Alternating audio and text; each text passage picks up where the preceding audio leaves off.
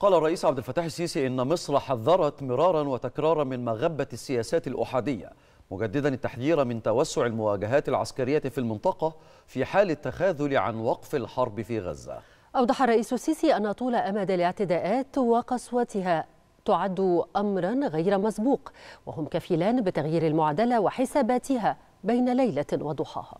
لقد حذرت مصر مرارا وتكرارا من مغبة السياسات الأحادية كما تحذر الآن من أن التخاذل عن وقف الحرب في غزة ينذر بتوسع المواجهات العسكرية في المنطقة وإنه ما كان مهما كانت محاولات ضبط النفس فإن طول أمد الاعتداءات وقسوتها غير المسبوقة كفيلان بتغيير المعادلة وحساباتها بين, لي بين ليلة وضحاها.